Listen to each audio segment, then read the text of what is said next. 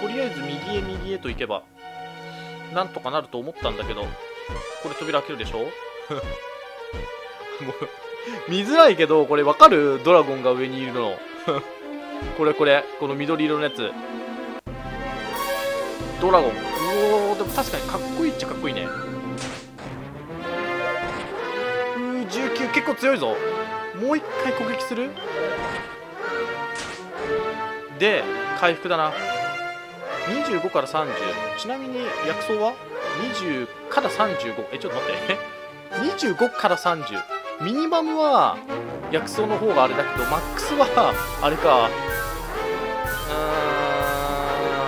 ーん安定性を取ろう。こういう意味この回復量はどうなわけ？こういう意味2回とか唱えないと無理か。やばいやばいやばい。でもう一回ホイミを唱えよう。ホイミホイミ攻撃だなそうすると。えー、危険だ。ただホイミの回復量よりはダメージは食らわないんで差額を回復できるっていう感じか。しかもかわしたし。そろそろ倒したいんだけどな。強いねドラゴン。ちなみにドラゴンって普通に敵で出てくるからね。竜王の城とかで。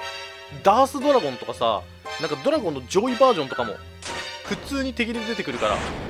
火の息20か。攻撃できるかなこれは。いや強い。いや強いね。これはボス級のドラゴンか？普通の敵でこんな強くはないでしょう。やばいやばいやばい。ホイミ2連続でいかないと。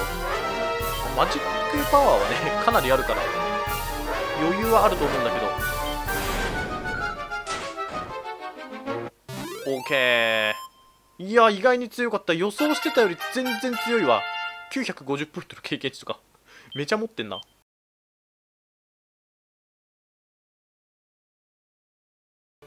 でここに入ろうとすると敵が出るんですよ。でそれがゴーレム。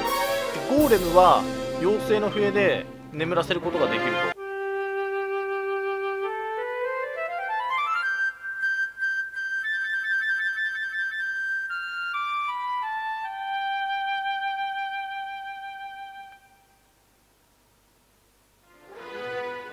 ゴーレムは眠っているってゴーレムが寝るってどういうことなの？であとはひたすらぶん殴ると。で起きたらまた妖精の笛ですねてかさ妖精の笛結構長かったよね。この音楽。2回目から省略してくんないかな。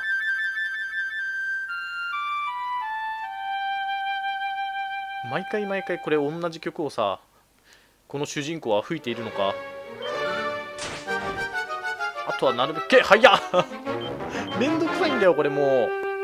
妖精の笛を毎回毎回使うのが。もういい加減ずっと寝ててくれ。永遠の眠りに俺が導いてやる。ほら。冷ましたとか。ちょっと一ターンで起きるのは早すぎだよ。まあ、1ターンっていうか実質2回分なんだけどね。自分の方が攻撃早いんで。でこれで眠って1回攻撃が終わるでしょ？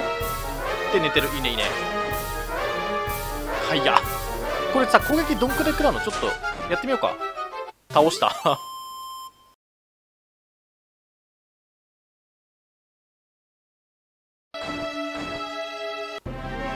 こいつか。悪魔の騎士が出てくるんだよね。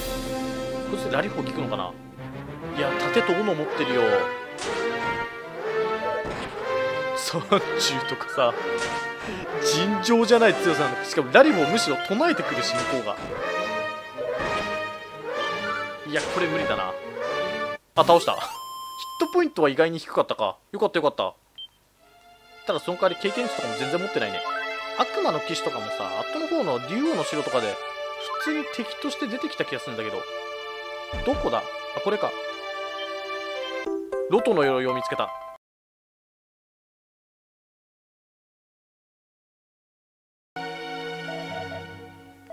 愚か者め思い知るがよい。竜王。こいつベギラマ効くのかな？ただベギラマを放つマジックパーが残ってないからな。きたベギラマ。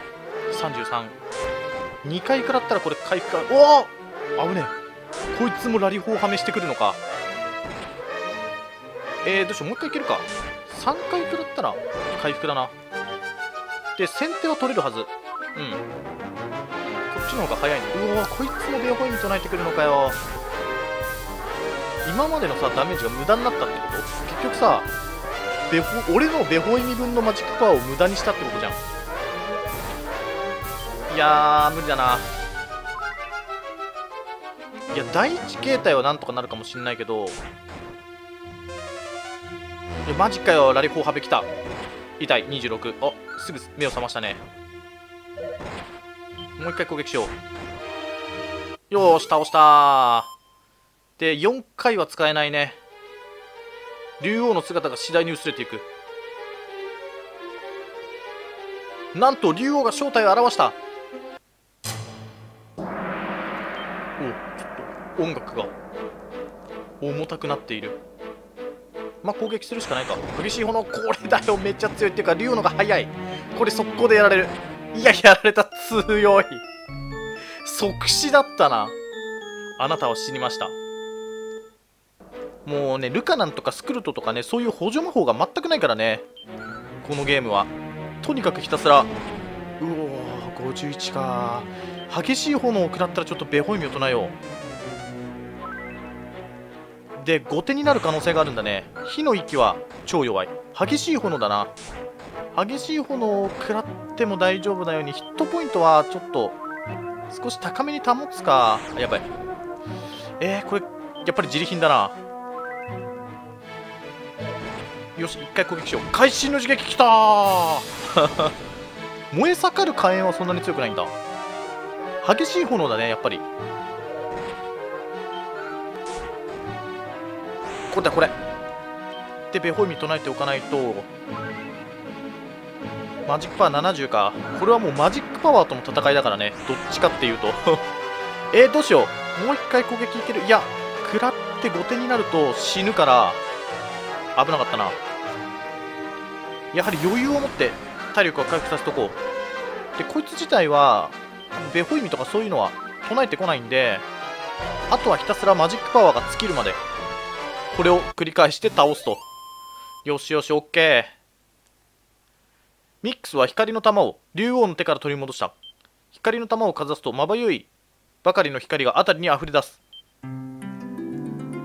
ここでさ一人で悲しくかざしてたんだ。誰も見てないよね。世界に平和が戻ったのだ。